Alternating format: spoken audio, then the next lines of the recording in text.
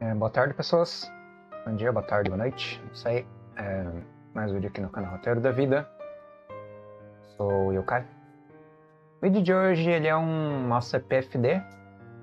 É, bom, o contexto dela é que, tipo, eu terminei de ver agora o último episódio, fiquei enrolando um pouco, do Psychopath 3, que é o anime.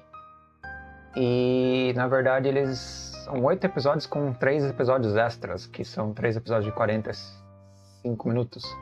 Eu acho que o anime inteiro era 45 minutos, mas eles tinham uma quebrada na temporada. Esses três episódios extras, eles foram feitos como se fossem especiais. Fora da, da série, série da temporada, né? Uma, como OVA da vida. Ou próximo a isso. Na verdade, ele tem um pouco de filme também. Então ele fica entre OVA e filme. Só que ele é continuação direta. E direta mesmo, não tem como não ser da série normal. Então ele fica meio que um misto. Ele é tipo uma série animada que vira uma série OVA ou uma série OVA que por acaso também é seriada, né? Seriada animada no, no sentido de ser seriada, né? De ser um episódio por semana, que nem foi a temporada de Psychopath 3. É, o que eu queria falar desse ACPFD é sobre o sistema Sibyl em específico. É, não sobre a primeira, segunda, terceira temporada, embora eu vou dar um panorama geral aqui das três. A primeira, em geral, é a ideia de uma anarquia, o sistema Sibyl como um sistema é, imperialista, imperialista não, autoritário, é, uma espécie de divindade acima da humanidade que regra e determina a vida de todo mundo, determina você do princípio ao fim da sua existência, ele escolhe para você de acordo com os parâmetros sociais e biológicos e alguns outros parâmetros que eu não sei, o destino que você tem na sua vida. Você vai ser guiado como uma espécie de cabresto para que você siga certos ditames na sociedade. Por exemplo, se é uma pessoa que tem tendências e capacidades ou algo do gênero, pode-se dizer afinidade com medicina, ou afinidade com serviço público, ou afinidade com, sei lá, o ensino como professor, ou afinidade para várias áreas. Você vai sendo guiado pelo sistema Sibyl, ele vai te dando um norte, não é um sistema determinativo, ele não te obriga a ser, mas ele te convida e ele te ele acerta. Ele não só convida, como ele acerta as suas características psicológicas. E nisso você acaba seguindo o sistema porque o sistema ele não está errado. Ele tá, ele é tipo uma espécie de onisciência limitada, mas onisciente o suficiente para que ele tenha uma noção é, das suas capacidades e potências como indivíduo, entendendo você como uma parte junto ao todo e entendendo a sua vida como uma espécie de célula dentro de um corpo, você é uma coletividade, você tem que fazer algo pela coletividade. Ele não enxerga você como indivíduo, ele enxerga você como membro da sociedade. Ele não enxerga você como ser é, importante, ele não dá sentido ou importância para você como indivíduo, ele dá importância para você como parte do sistema. Ele vê você como uma peça de tabuleiro. Ele, joga, ele enxerga você como uma peça de tabuleiro, sistema Cível. Então, na primeira temporada tem o Akishima Shogo, que é um anarquista que se vê asfixiado pelo sistema Sibyl, e ao mesmo tempo ele vê essa violência corporativa, que é uma violência de sistema de governo, asfixiando a criatividade das pessoas, asfixiando a natureza espontânea da humanidade, que seria a arte, a beleza, e a, o mundo se torna mecânico, porque o sistema Sibyl ele determina racionalmente é, o melhor para, para a sociedade. Então fica previsível fica enfadonho, fica tedioso e o Makishima Shogo é um entediado em essência. Só que ele, além de ser um entediado, ele tem volições violentas de anarquista, de destruição. Ele ataca o sistema para colapsar ou para fazer uma diversão ali, para ele sair do tédio dele. E isso ele descobre que ele também é o gene, ele é tipo o DNA do sistema civil. O cérebro do Makishima Shogo faz parte do DNA do sistema Sibyl. Ele é um sociopata? Ele é um sociopata. E como é que é formado o sistema Sibyl? É aí que está o X da questão. Há uma conjunção de processadores orgânicos, cérebros humanos, é, núcleos paralelos de computação, porque o cérebro humano é um computador. Então você pega cérebros de pessoas ímpares na sociedade, com características específicas de DNA e de, e de socialização, mas principalmente de DNA, é de nascença. Você nasceu com uma característica sociopata. Você é um ser racional ao extremo. Não é psicopata, é sociopata. Você tem um coeficiente criminal neutro. O que é o coeficiente criminal no sistema civil de psicopécia? O coeficiente criminal é o modo de você julgar e categorizar a pessoa de acordo com as volições emotivas, com as volições instintivas e com a natureza se expressando através do descontrole das suas ações ou da potência de destruição que o indivíduo carrega pela sua natureza inserida. Sociopatas, de acordo com psicopatas, são o ápice da evolução humana. É como se fossem as pessoas que transcenderam o emocional. São racionalidades plenas. Aquelas pessoas que têm um, uma, uma perspectiva, um ângulo, uma visão clara da sociedade. Eles têm uma visão é, esmiuçada, detalhada, segmentada, racionalizada da sociedade, ou da, do universo como um todo. Então são os centros lógicos de processamento do ser humano que é alocado nos sociopatas. E exatamente por isso eles têm coeficiente criminal zero. Eles não podem ser julgados como pessoas agressivas porque eles são extremamente racionais. E a racionalidade deles é tão poderosa que suplanta e aniquila, ou meio que não aniquile, mas sufoca a emotividade deles, da, da pessoa. Maxima Shogo, por acaso, é um sociopata em essência, faz inúmeras coisas simplesmente porque ele é extremamente inteligente e extremamente irritadiço, com a situação, embora não seja uma irritação emotiva, é uma irritação racional, logicamente, porque ele é um sociopata insensível, absolutamente insensível. E o sistema Sibyl tem cerca de uns, eu chutaria uns 400 cérebros de sociopatas, que são, funcionam como núcleos de computador, né, núcleos de processamento, é, que computam e definem a estrutura, eles governam a sociedade, eles gerem a sociedade, eles são é, como se você fosse comandado por um software. A sociedade é comandada por um software, que é o sistema civil, que monta as organizações governamentais, que monta a estrutura social, que monta a, a sistema de segurança pública, que gerencia, no caso, a, é, a, a, pulsão violenta dos seres humanos, como se os seres humanos estivessem numa espécie de cercadinho, numa espécie de, pode-se dizer, Hum. Campo de pecuária, mais ou menos, entre aspas, né? É como se estivesse na no pasto e vocês fossem os lobos. Não, peraí, o pastor das ovelhas, talvez. É uma metáfora meio estranha. A metáfora que eu quero usar é uma metáfora rural, onde você tem um monte de gado e uma cerca, e essa cerca ela define a realidade dos gados que estão dentro dela. Então o sistema Cíbio é aquele que constrói as cercas e os labirintos da realidade para que o gado, que é a pessoa, que é a sociedade, seguir através do melhor caminho possível. É tipo uma filosofia leibnista, o melhor dos mundos possíveis, o melhor governante possível, o governante mais justo da realidade, da, da, da existência, o governante mais sábio, entendeu?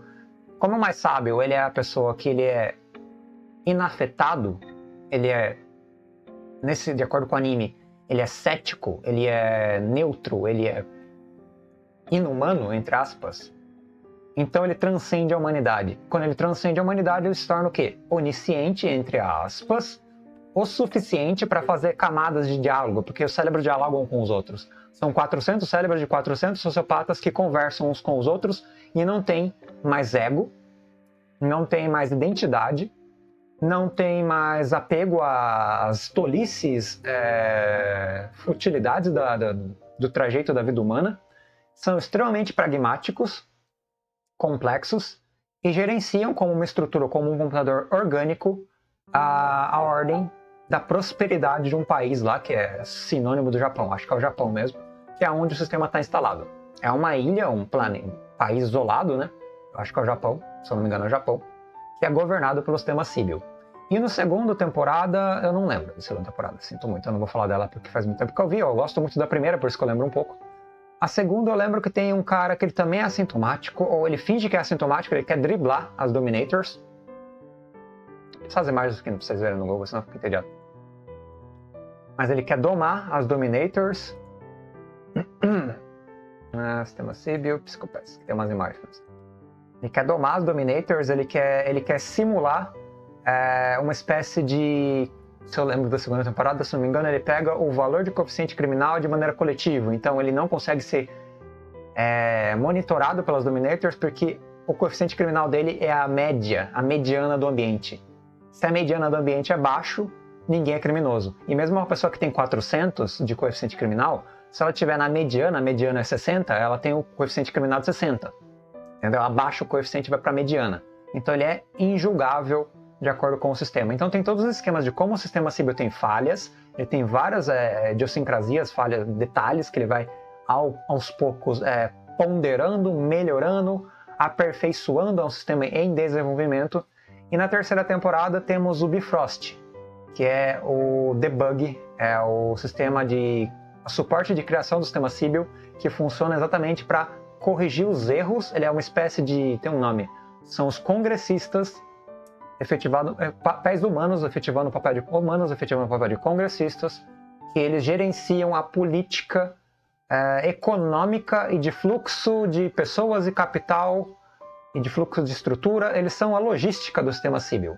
A logística para o sistema civil conseguir abranger o território como um todo, conhecer o território como um todo, debugar todos os seus defeitos de, de raciocínio, porque ele ainda não consegue ter clareza, uma espécie de onisciência. Vai ampliando a onisciência e então o Bifrost ele funciona como esse joguete de, de fluxo de financeiro, de fluxo de, de logística nas estruturas da sociedade e nisso também é corporativo e consegue arrecadar somas enormes de dinheiro. E quando o Bifrost se torna, é, é, como é que é a palavra, obsoleto, o sistema Bifrost ele se torna obsoleto? E o sistema Sibyl consegue é, ser independente mais do seu debug, que é a origem da a estrutura que foi feita para ajudar ele a se sustentar né, na estrutura como um todo da sociedade e a abranger todos os fluxos de, de, de informação, então o sistema Bifrost se torna é, não mais necessário, obsoleto, e aí, no fim, na terceira temporada, é a saga para você anular o sistema de, de sustentação. É como se fosse uh, as bases iniciais que agora são descartáveis e não são mais necessárias dentro do sistema do Sibyl. E daí tem outros personagens, o Arata, entre outros, que fazem parte da terceira temporada. E também tem o vilão da vez, que o vilão da vez, na verdade, é o próprio Bifrost, no seu processo de purificação, de autogerenciamento, autorresolução, até o ponto onde o próprio Bifrost, através do, dos congressistas, se auto-executa é, ao ápice e essa auto-execução ao ápice faz com que ele efetive a sua função máxima, que é dar toda a sustentação de, de capacidade de logística e de análise de vínculo, de vínculo não, de fluxo de informações e de pessoas e de, e de valores, é, principalmente valores monetários também, em relação ao sistema Sibyl, que agora é capacitado para dar conta dessa função que o Bifrost não precisa mais dar. Então o Bifrost ele é, ele é descontinuado. É um sistema que é fechado na terceira temporada. E tem todo o esquema ali das protagonistas, da Akane, do Tsunemori, do Koizumi, não lembro o nome do cara. É, dos nossos protagonistas clássicos, os seus conflitos, a relação deles com o sistema Sibyl, com as Dominators, com essa pegada de você caracterizar as pessoas com um grau de de valor é, de potencial agressivo, potencial destrutivo, de utilidade na sociedade, incluindo a sua, o fato de você ser é, corrigido e até certo ponto é, não apenas corrigido, mas retirado da sociedade para que você não afete o coeficiente criminal das pessoas ao redor, ou seja, não afete o equilíbrio emocional instintivo das pessoas, deixe todo mundo numa espécie de limbo é, de harmonia, esse limbo de harmonia é gerenciado pela Sibyl, onde todo mundo vive na paz, vive na, numa utopia, ou uma distopia no caso, da, do ápice da humanidade, que é o sistema Sírio gerenciando a, os gado, o gado que é a galera. A galera, tipo, que tem um coeficiente criminal mediano, para cima ou para baixo e tal, e que não é necessariamente um, um criminoso latente, ou seja, uma pessoa. Um criminoso latente não é uma pessoa que vai matar alguém. Um criminoso latente é uma pessoa que tem uma pulsão rebelde. É como se não fosse parte da coletividade, é como se fosse uma, uma anomalia no sistema. Então, um criminoso latente é aquele que tem o descontrole ou um desejo muito grande, um ego muito grande, não é coletivizado, ele tem um ego, uma individualidade muito grande. Essa individualidade gera uma ganância nele, essa ganância gera uma pulsão agressiva, uma pulsão de, de transformação e de acúmulo que pode gerar é, pulsões de violência. Muitos das pessoas que têm coeficiente criminal elevado, por acaso, são coatores que são os caras que trabalham com os executores é, na, na, segurança pública. E eles têm sim coeficiente criminal elevado, ou seja, eles são pessoas com potencial criminal latente, no sentido de eles serem egóicos e moralistas, no sentido de eles terem uma força de vontade, ou uma força de realidade, ou um pensamento rebelde muito é intensivo, intensivo, intenso, nossa, muito intenso. E é exatamente por isso que a segurança pública é, recruta essas pessoas, que eles são bons, exatamente por eles serem é, ou pessoas individualistas, eles são ótimos em tomar decisões violentas e o coeficiente deles aumentar ou diminuir não faz mal. Eles também são muito ferramentas, são muito úteis para o próprio sistema conseguir corrigir é, outros criminosos e é meio que jogar veneno contra veneno, sabe? Você lutar contra o veneno usando o veneno, para você não ter que sujar as mãos. É mais ou menos para isso que servem os, os executores, os coautores, não lembro qual dos dois é, no, no. Então, o sistema civil tem essa racionalidade de gerência de sociedade, é formado por um núcleo de processamento é, paralelo de múltiplos cérebros orgânicos que são sociopatas, não emotivos, são pessoas que estão acima da lei e acima do certo e errado, são pessoas que não são nem criminosas nem culpados em punir. É só como se fosse a justiça na essência, como se fosse a força da natureza é, materializada na consciência, pode dizer assim. É uma catástrofe natural materializada numa consciência volitiva que tem desejos e vontades de direcionar a sociedade. Só que esses desejos e vontades de direcionar a sociedade são neutros. E essa é a questão, é neutro, ou seja, é totalmente tedioso, como o Makishima falava, é totalmente vazio, é, não tem criatividade de fato, é uma sociedade estagnada, é uma sociedade absolutamente estagnada, que direciona você desde o nascimento, ou enfim, no seu percurso de vida, para um desfecho onde você vai seguir, de acordo com o cabresto da sociedade, é, o labirinto é, construído pelo sistema. Então, o sistema civil é muito interessante. É muito interessante. É um dos sci-fis mais recentes, Psicopés. Eu gosto bastante da ideia do sistema, eu gosto bastante de Psicopés em geral. Eu não acho as temporadas, assim, tirando a primeira, que eu adoro, porque é filosófica, psicológica, a segunda, ela decai no sentido de, de abrangência e utilização adequada do plot. A terceira, ela é extremamente bonita, só que, no entanto, ela peca na estrutura narrativa. Eu acho a narrativa dela muito, muito embaralhada, é muito pouco clara. A primeira temporada dela é muito mais clara, é muito mais interessante por causa disso. E a terceira ela é muito confusa, eu acho pelo menos um pouco confusa. Entretanto, ela é muito boa também. Então a primeira e a terceira temporada são temporadas muito boas. Tem um pouco ali de, eu diria, tem um Deus Ex Machina na terceira temporada, tem um Deus Ex Machina, que é o Arata. O Arata ele tem um poder sensitivo de é, psico alguma coisa. Quando você toca no objeto e descobre o passado dele, ele tem uns poderes psíquicos extremos. Ele é um telepata ou algo do gênero. Só que um telepata de detetive, ele é difícil. O poder dele é difícil explicar, mas ele consegue é, mergulhar na, nas possibilidades racionais, nas, nas causalidades no centro de eventos, entender todos os gatilhos, as pontas soltas, entender todos os fios de um, de um emaranhado de eventos e consegue percorrer isso nadando nessa, nessa, nesse mergulho é, que ele faz e assim ele descobre os fatos verdadeiros, porque a, o, o, subconsciente dele, ou o consciente profundo dele, é, é muito poderoso, porque ele de fato também é um dos sociopatas do sistema civil. Logicamente que, na prática, o anime não lida bem com sociopatia, ele não lida bem com a psicopatia. Tirando o Makishima Shogo, que é um sociopata clássico do tipo é, anarquista, os outros sociopatas que ele trata como um sistema civil são um pouco complicados, não são tão bons assim, eu diria. Ele trata muito melhor com os executores, né, com as pessoas que são moralistas e egóicas, do que com os sociopatas em si. Então, principalmente com o Arata. O Arata ele não tem cara de sociopata nem aqui nem na China. Tipo, ele pode ser o que o sistema civil diz que ele é, mas vai muito mais de um traço genético do que de um traço de comportamento, porque ele é um amor de pessoa, uma pessoa extremamente é, é bom, ele é cético, em certo sentido, mas ele expressa muitos sentimentos, né? Pode ser assim. Então, é uma série bem interessante, o sistema civil é bem interessante. As Dominators são armas de coação, né? De, de, de paralisação de criminosos latentes são interessantes. O design dela é principalmente a parte que ela explode as pessoas de maneira impiedosa. Isso já é um pouco de gore, caráter de gore, né? É gore para você chamar a atenção um sci-fi violento. É, ela literalmente explode no sentido de liquefazer o corpo do, do, da pessoa que é atingida. E toda essa sociedade que na verdade não é muito debatida também, a sociedade no Psicopés ela não é muito explorada, é pouco explorada.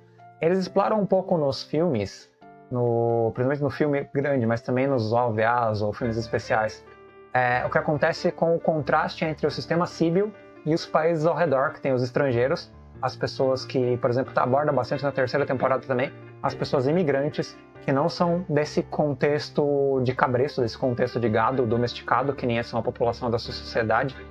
Então são pessoas é, distonantes e que tem que se adaptar ao sistema, tem que se adaptar ao seu coeficiente criminal, tem que se tornar um membro dessa sociedade planificada e por isso tem todo um dilema ali de como funciona com os imigrantes, a xenofobia e a adaptação e os conflitos governamentais e políticos que abrange, começa a abranger muito e a inflar muito, principalmente na terceira temporada.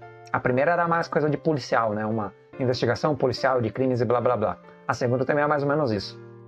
Com o desfecho da primeira e tal, indo em direção a isso. A terceira não, a terceira é um ramo mais político-econômico, é, mais macro, digamos, expande a, a logística do sistema Sibyl e engrandece muito o sistema Sibyl exatamente por isso. Então, como sistema Sibyl, não como anime, é, fica muito interessante você ver o todo a abrangência dessa, dessa amálgama, é, digamos, de sociopatas, é, de software sociopata, que é um computador orgânico, e como ele gerencia a sociedade, e como a sociedade não consegue torna extremamente dependente do sistema, assim, é extremamente dependente, porque o sistema ele ordenou, ele organizou, ele deixou funcional ele deixou bonita, assim, adequada. A vida, a qualidade de vida deve ter melhorado horrores, entendeu? É, ele tornou eficiente a sociedade. Ele estagnou a sociedade e tornou eficiente ao mesmo tempo. Eu não sei até onde tem inovação ou grande desenvolvimento humano num sistema que não tem um ego, uma ganância tão. É, embora tenha as qualificações individuais que o sistema aloca você, né?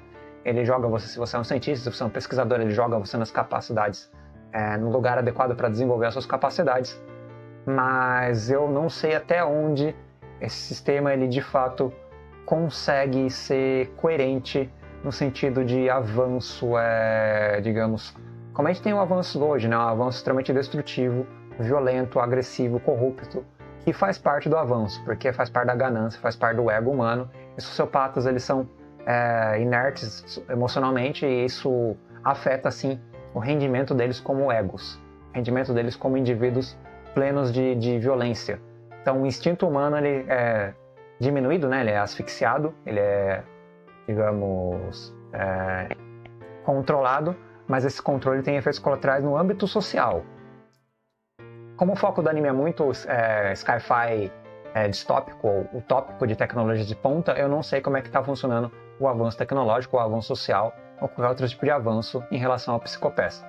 Entretanto, a gente entende no decorrer dos três animes, das três temporadas e dos filmes, que o avanço é positivo, é uma sociedade de, realmente é, utópica, mais utópica do que distópica, que consegue dar qualidade de vida e dignidade existencial para todos os seus habitantes, mesmo que eles sejam anestesiados pela, pela expertise é expertise de programação da sua vida, programação das estruturas da sociedade. Que é o sistema que é o sistema faz isso, né? o sistema Cibo faz isso. É mais complicado que isso, tem outras variantes no sistema, tem outras variantes. Eu vou elaborar aqui nesse debate, não porque vocês viram que eu tenho muita dificuldade de falar desse sistema aqui, porque é uma teoria filosófica e gera inúmeros é, que dá inúmeras variações de, de debate. Eu não vou conseguir dar conta disso aqui. Só queria fazer um panorama geral na CPFD falando um pouco do sistema Sibyl, um pouco do Psicopass, e não tanto do enredo do anime ou das estruturas mais é, de relação interpessoal dos personagens ou implicações ali dos conflitos internos, mas mais falando da macroestrutura que é o ambiente que governa todos eles. Então é mais ou menos isso, espero que tenha sido um vídeo relativamente interessante para quem está pensando sobre o sistema também. É, debatam comigo, me iluminem mais se possível, porque eu também não, não domino isso, eu só queria falar um pouco sobre isso. Pode ter muita coisa equivocada aqui, pode ter interpretação errada, pode ter coisa insuficiente, insuficientemente elaborada e acontece. Mas é isso aí, só queria falar um pouco de psicopeça, porque eu gosto muito da ideia. Mas é isso aí. Obrigado, pessoas, até mais. Falou.